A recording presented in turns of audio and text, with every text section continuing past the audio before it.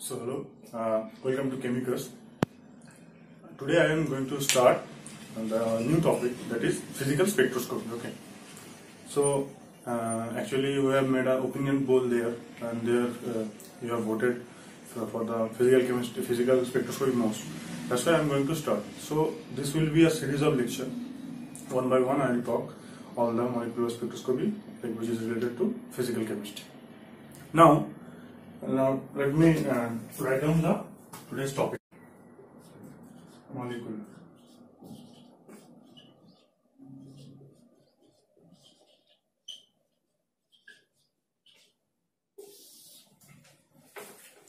So now molecular spectroscopy. Okay. So before going to the molecular spectroscopy, you should know what is spectroscopy. Like what spectroscopy deals with. Spectroscopy is the interaction of light with a substance. Okay, so interaction of light with a substance that the result whatever we are getting that is called spectroscopy. Now, if your substance that is if that substance itself is an atom, that time it will come atomic spectroscopy, and if your substance is a molecule, it will be called as molecular spectroscopy. Okay, so whatever I'm writing interaction of light with the substance. Now if substance is atom, then it will be called as atomic spectroscopy. I'm not writing totally. Uh, if it is molecule, then it will be molecular. So, in this case, we will talk about molecular spectroscopy. Now, uh, in molecular spectroscopy, if you know that it uh, consists of like rotational spectroscopy, vibrational spectroscopy, Raman spectroscopy, rotational Raman, vibrational Raman, and all these things. Even electronic spectroscopy also is there. But if you ever heard that translational, translational spectroscopy, you will not have it. So why? Why translational spectroscopy is not there? Because whatever a, a, a molecule or an atom, it consists of like the three motion. It has the translational motion, it will have rotational motion, and it will have the vibrational motion. Now, for the other two motion, we have spectroscopy, but for the translational case, we don't have any spectroscopy. Why this is so? So, like, if you know, the, in any room temperature, okay, whatever, the, due to the temperature, whatever exists, due to that temperature, there will be some thermal energy. Okay, that is called as kBT, where kB is the Boltzmann constant.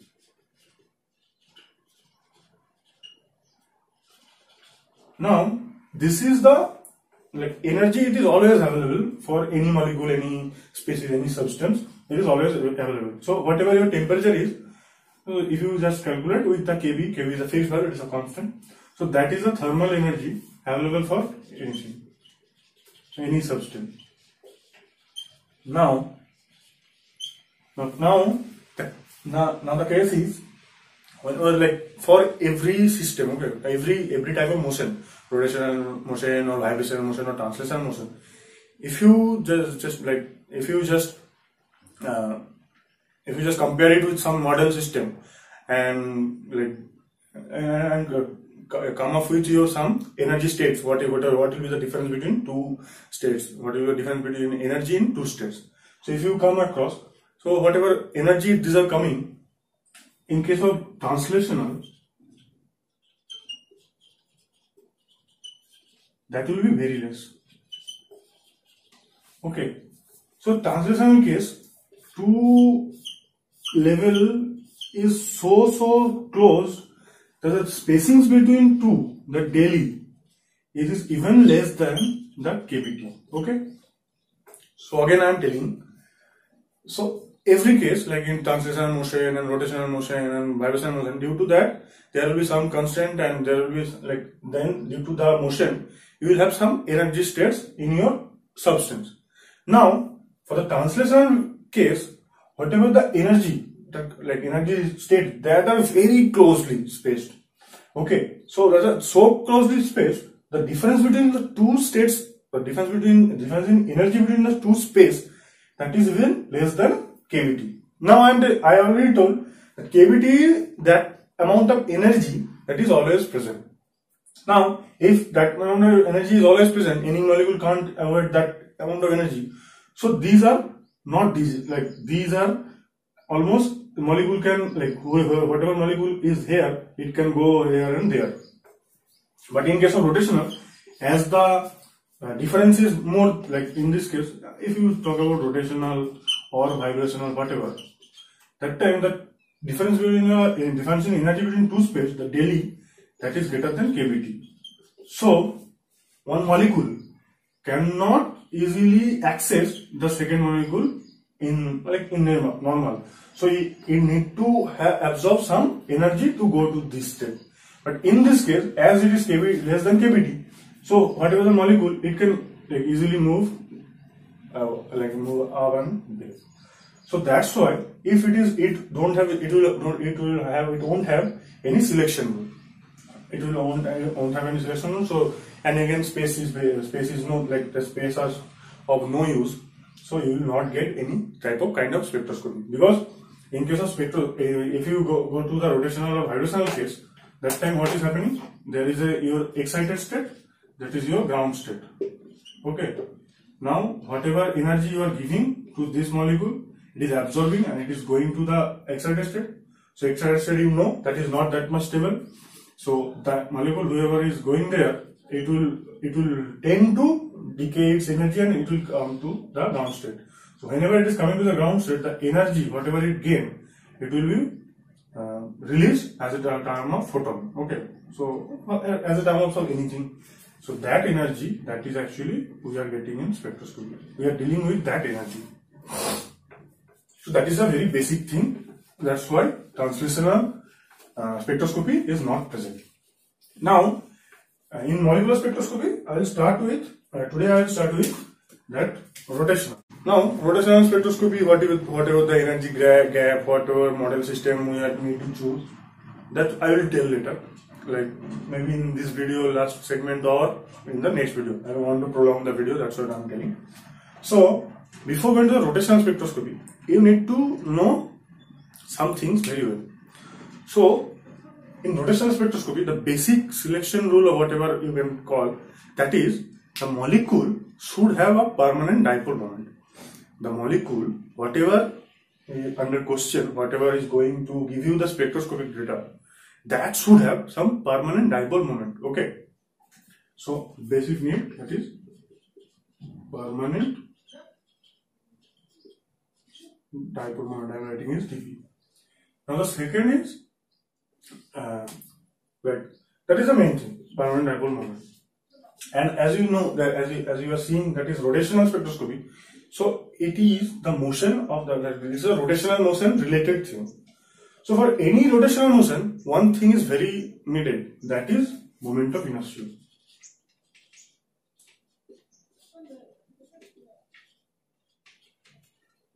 So that is uh, just one thing I told already. Leave it now. And I will tell the moment of inertia. So what moment of inertia is? Moment of inertia is nothing. So any rotational motion, whenever a particle it is moving with some angular moment or whatever with the axis that time it will have some moment of inertia okay. It is related to like you can say it is related to the mass. Mass related but it's not like that exactly mass. So what moment of inertia is?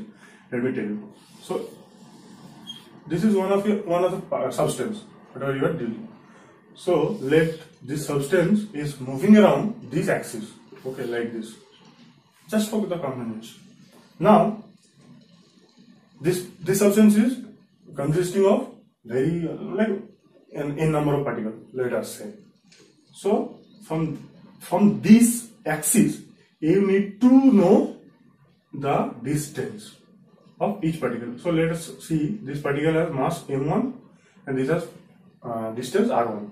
Now whatever this particle, this particle if it is m2, it is have r2, it will have M3 and R3 it will have M4 and R4 like that so it, it will have some uh, n number of particles. So I am telling this is taking this is mi, i particle and ri.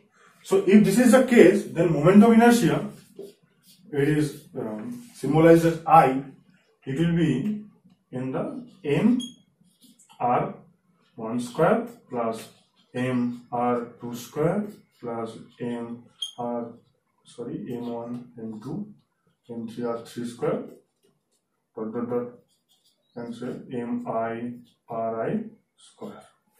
So number of particle whatever is there if there is n number of particles so you need to uh, you need to square the distance and multiply with the mass of that particle and you need to sum up the whole thing that will give you the moment of inertia okay. So now if you see the whatever distance we are taking that is from the axis. This axis whatever axis we are choosing. Or whatever axis this particle is moving uh, revolving. So this axis is very important in case of moment of inertia. So uh, one more thing, you can uh, easily write down this thing as like this. I is equals summation of m i r i square. Now from i is equals 1 to n. So in number particles that is that is the equation. Okay. So as I told that in this case this is very important to know about your axis, about which axis your particle is moving. Okay.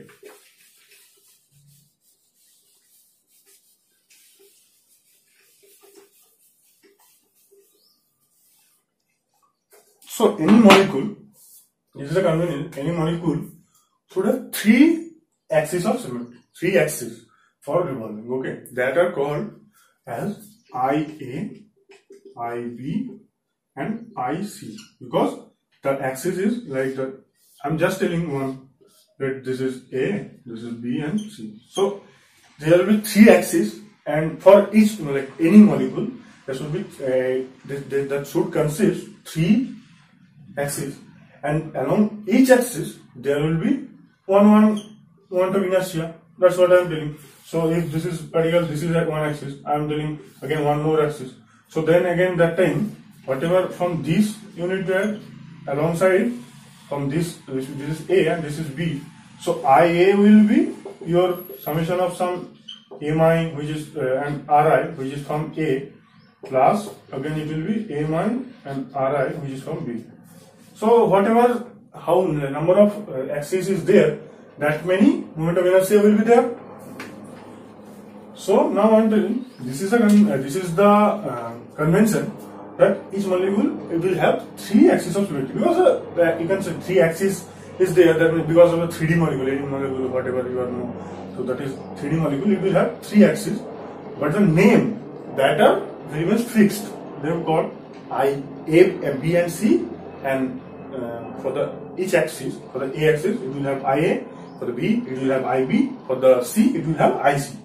Now, now we have got IA, IB and IC. So now this in this case IIBIC you need to know like there also some convention is there. So which will be C, which will be B and which will be A that you need to know. Okay. So which will be C, which will be B and which will be A. Now I'm telling for any molecule just uh, A. A I'm taking one molecule. So I'm taking this is a A, this is a B, and this is a C. Whatever. I don't know what should be the uh, what should be the C, what should be the B. I'm just saying let this is. But they are telling C will be that axis along which the moment of inertia that is IC should be maximum. Okay. So C is that axis along which that IC should be maximum. Okay. So I have taken this is as A. If I will take this is as C, then C. If A and these two A molecule, if these are point mass. So from this axis, A has R is equals 0. If this is point must not look like this, it should like I, have given some specificity if this is this is the case. Okay, and this is your A axis. Whatever the bonding bonding that is actually you are taking as A. Now it will have 0 R.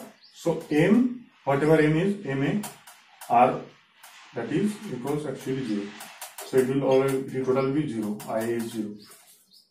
So this is the 0 means it is it will be minimum. So you cannot choose this as C because it is giving IC, it will give IC as 0. So IC will be that axis which uh, along which that IC should be maximum. Okay, and IC IA sorry IA will be that which should, should be the minimum.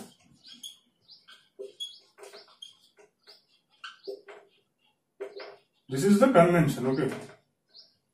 If you if you follow that, uh, there's a very good book called Hollas. Hollas High Resolution Spectroscopy. There actually there it is mentioned the convention. So IC should be maximum, IA should be minimum. And in case of B, they are telling B should be perpendicular. I am writing as this is as perpendicular, perpendicular to both A and C. Okay. So again, let, me uh, tell you this this three thing for you. Because this is a very basis of your whatever rotational spectroscopy. So there are three axes C, B, and A. Whatever the uh, axis will give the highest moment of inertia along it. That will be C. Whatever the axis will give the lowest moment of inertia that will be A. And B will be perpendicular to both A and C.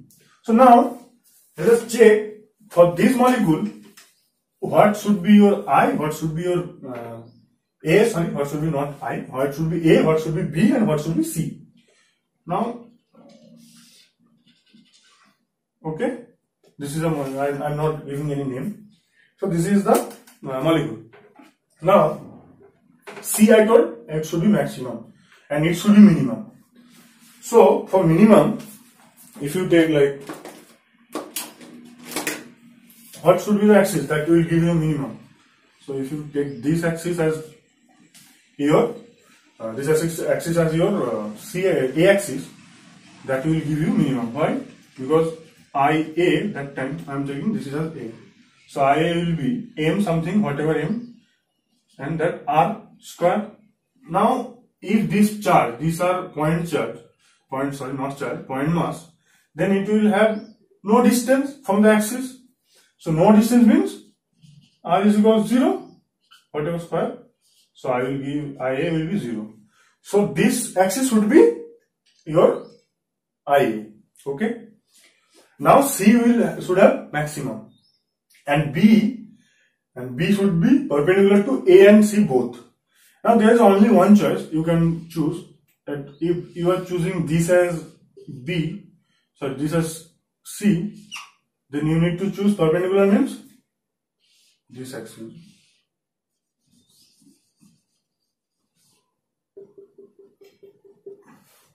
So this axis is your B. Now if you uh, if you follow this, from this axis C, this distance, this is R also, this is R. So from this axis, distance between two is R because this is exactly bisecting the uh, bond between the, the two atom. Now again this also, I am just drawing it like just follow it as this. This is your B axis. Now again this axis also bisecting this molecule is exactly same distance. So that's why IB will be equals to IC because M R, R square plus M R square and again in case of C or B and also that will be same. So uh, it will be IB is equal to IC. Now you, uh, you just uh, you just check it is following or not. IA it is having minimum, IC it is having maximum. They are not telling B should have some intermediate value. They are telling IA should be minimum, IC should be maximum and I B just need to be the axis of B need to be perpendicular to A and C. So it is following everything. And this is the linear molecule. Okay, I, I am about to tell you the difference of the molecules according to the IA, IB and C, IC. But while explaining, I have already told linear. So that, let's not worry about that. I will talk, uh, talk everything again. So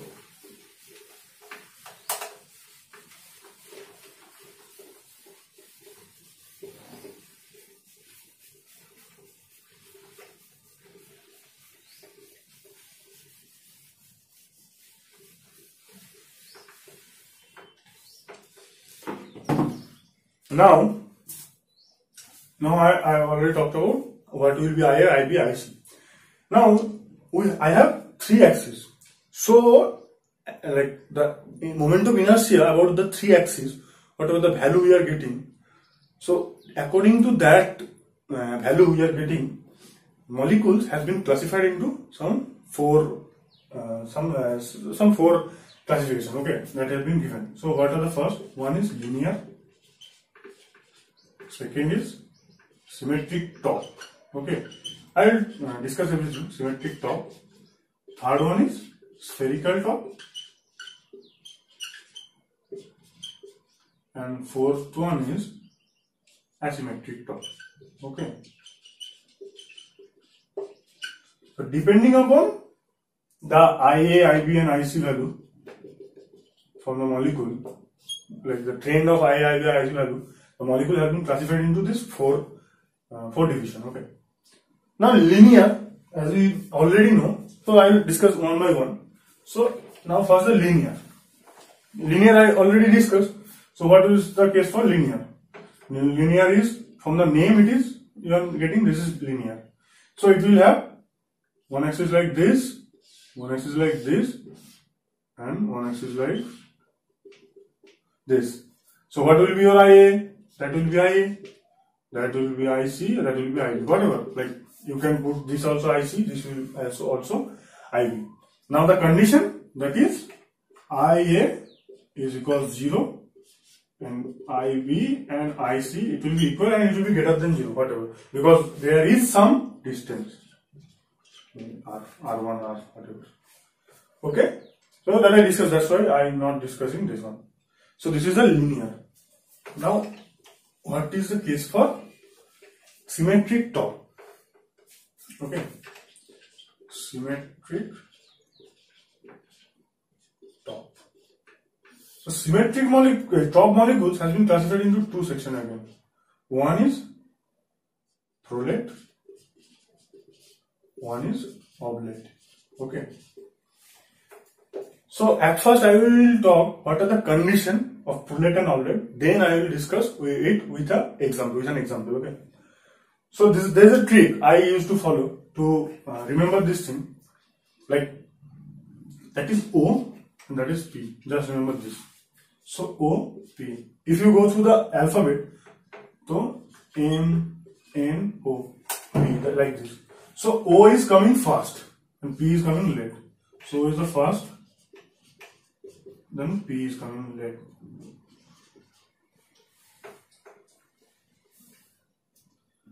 So the conditions are I am writing here.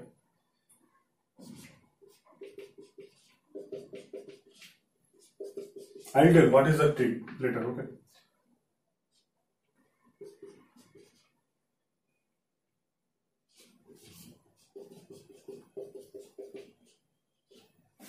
Okay. So if you see this, there is IA is less than something, IB equals IC in case of prolate I have written. And in case of oblate I have written IC is greater than IA and IB. So if you look carefully, there is two i, two i which are greater than one i, and there is one i which is greater than. So greater, just look at the greater. There is two is greater, like I am telling. So two i are greater than, and here one i is greater. Okay. So O comes first. So that is obviously 1 will go with O in case of oblate. And P comes late. So 2 will go with prolate. That's the thing. Okay. So if you know the alphabet, O and P, and again the digit also 1 and 2. So these are going with this. So this is just a trick. It's not like that's why it is going. So in case of prolate, IB and IC will have higher value than IA. In case of oblate, IA and IB like IC will have higher value than IA and IB. Now if you uh, carefully look, I already told IC will have highest and IA will have lowest. So obviously every time IC will have higher. So now whenever 2 is having greater value than 1, that time IB and IC will be equal. And whenever one is greater than the other two, that means one is greater, whatever is greater, that is IC, that is fixed. So I and IB will be fixed. That is the case. Okay. So I will tell this again because uh, it will uh, help you to remember the thing. So these are the two cases. Okay. So let me check one example for prolate. So if you uh, you know I think that allene molecule. Okay.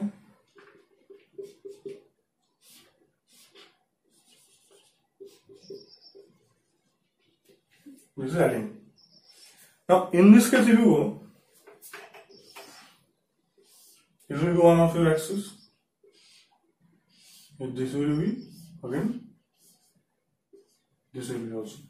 Now, this axis, okay, this axis is going through a three molecule. So, due to this three molecule, you will not have any I. So, if you know, like if you if you see that it will give the least moment, least uh, moment of inertia. That's why I need to put is IA. And these two, like from these two is actually intersecting this. This is the main point. So from this point, the distance of these two or distance of this hydrogen, from this point it is equal. Like not, I'm not telling equal. Like from this point, whatever the this axis will give the moment of inertia and this axis will give the same moment of inertia. So I can choose NU1 as IB and NU1 as IC. So what is the condition I am getting? That time i was 0 but it is not 0. Why? Because these molecules have some distance from this axis.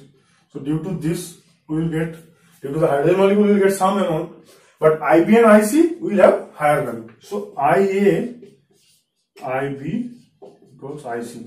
So 2 is greater than 1 that means it will be a product. And exactly this question has been asked in CSIR. I think uh, 2018 June or 2017 December. I actually I don't I, I actually forgot. So allene molecule is a uh, is an example of prolate. Okay, and uh, whatever the choosing of momentum in uh, inertia axis, whatever the choosing of symmetry axis I am telling. One more uh, tip here that is if uh, axis, if a, an axis is going through the most number of atom okay most number of atoms that is called as principal axis of symmetry Okay. So what they're telling? If a if an axis is going through the most number of atoms, that is called as principal axis of symmetry. And uh, like from the definition you are getting that most number of atoms. So whatever number of atoms it is going through, due to that atoms, you will not get any contribution in your moment of inertia.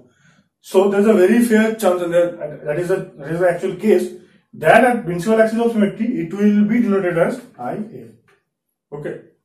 So this is actually one of the thing.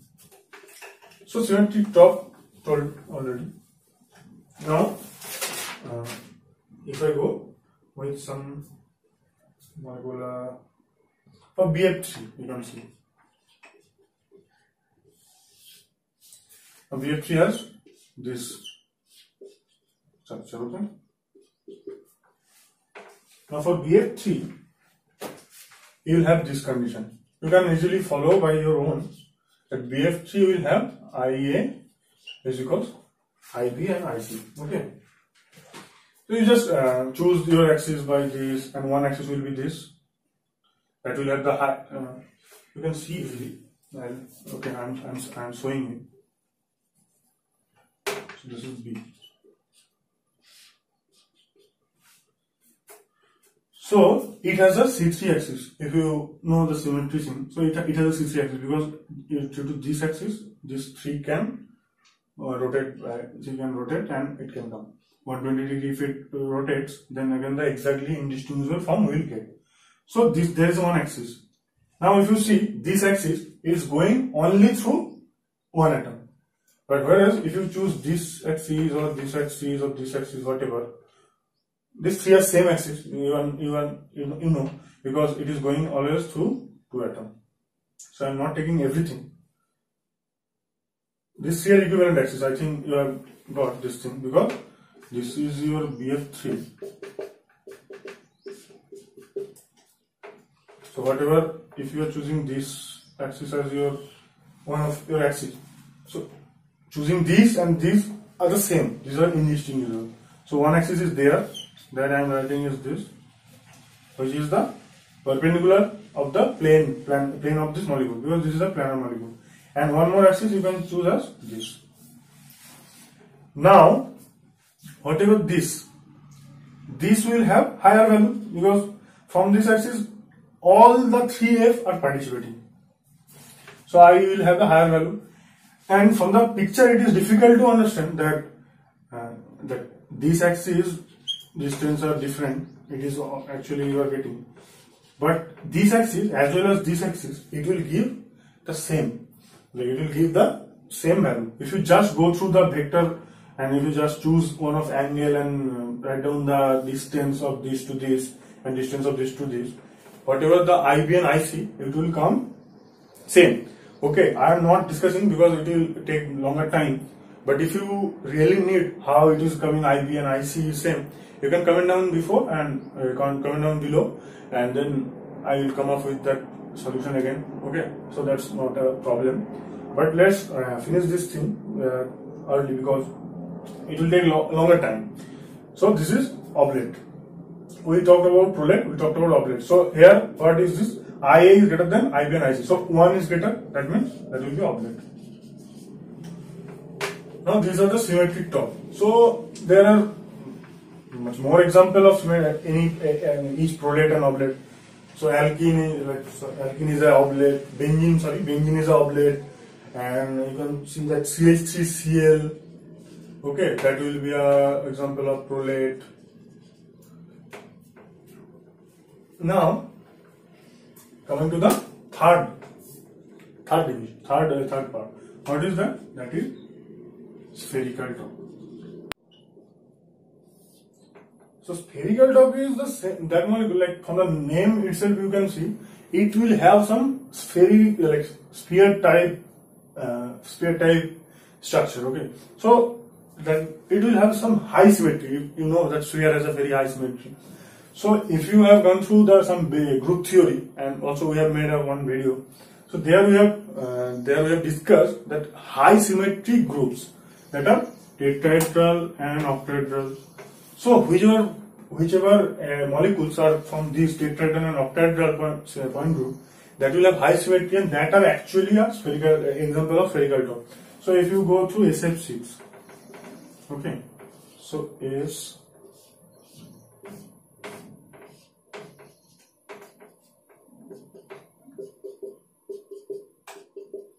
So these are this is a plane can choose. So this plane, like this total plane and if you just join this, it is forming a sphere-like thing. Again, in case of CH4 also, you can see. So this is again forming some sphere kind of. So these are high symmetric case, tetrahedral, octahedral point mainly. So these are forming like sphere-like thing. So this type of highly symmetric molecule has been called a spherical top. Okay, but if you just change one to Cl, it will not because the because the electronic it's not like that just attaching. I'm telling the electronic density, the electron density around it is uh, around the molecule. It is very much symmetric and it is uh, similar throughout the molecule. It has been dispersed and it is forming a spherical electron density and in this case also. But whenever you are putting just one Cl instead of H here you just see then it is it will not give the same electron density it will have some because chlorine will try, um, bring that electron towards him and it will distort somehow so that time you know that CH3Cl is an example of prolate so it's just an example of prolate it's it's not uh, becoming some spherical top so whenever it has a high high symmetry that time it is called as spherical top in case of TDM. So the spherical for spherical top, the uh, equation, the, the relation of IA, IB, IC is IA will be equals to IB will be equals to IC. Okay, IA will be equals to IB will be equals to IC. So we have got that IA is equals zero and IBIC equals whatever get up then that is for linear from symmetrical top from spherical top. The three thing is over. Now the last that is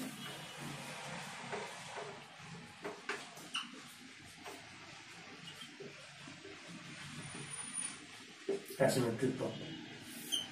So for the name itself you can see that is asymmetric means it won't have any relation actually. It won't have any relation of I, IB and IC. So for any molecule, if I is not equals to IB is not equals to IC, that time this type of molecules are called asymmetric top. So you can easily see that is H2O.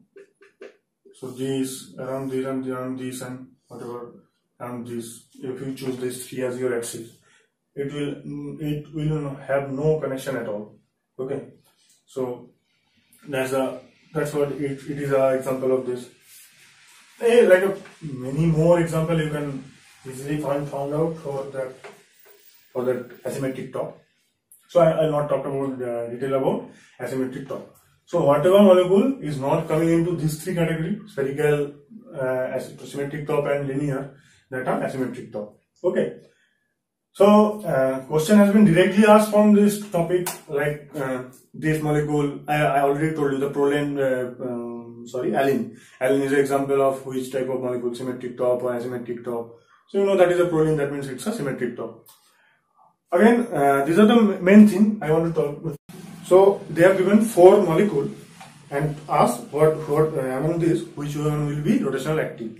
So H2N2 carbon monoxide CO2 H2, N2, carbon monoxide and CO2. Okay. So they have asked among these four, which one will be rotation active?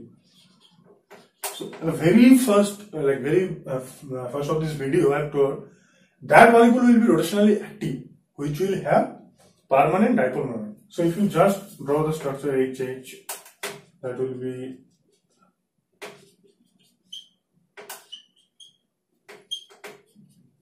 So for see for this this molecule it will have no dipole moment, no dipole moment, no dipole moment, only this molecule has dipole moment.